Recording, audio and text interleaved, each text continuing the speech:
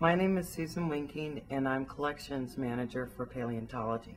My job as Collections Manager is to curate collections. When we find a specimen in the field, the specimen is brought back to the lab where we uh, give it an accession number, and then the bone is identified, prepared, and then we give each specimen a museum number and we keep it into our collections.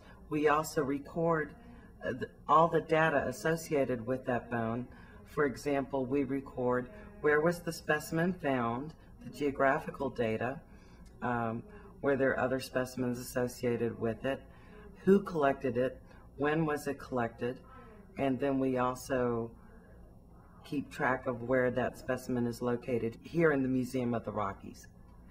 Collections is where all the specimens that have been collected are housed. Um, this room is temperature controlled, uh, the humidity is controlled um, for long-term storage of the specimens. The Museum of the Rockies is a federal repository, which means we are in charge of keeping collections for all the federal and state lands here in Montana. Our collections contains one of the largest collection of North American fossils in the country. And we also have a large collection of invertebrate fossils that um, we are in the middle of curating.